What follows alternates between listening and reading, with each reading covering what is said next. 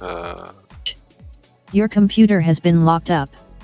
Your IP address was used without your knowledge or consent to visit websites that contains identity theft virus. To unlock the computer please call support immediately. Please do not attempt to shut down or restart your computer, doing that may lead to data loss and identity theft. The computer lock is aimed to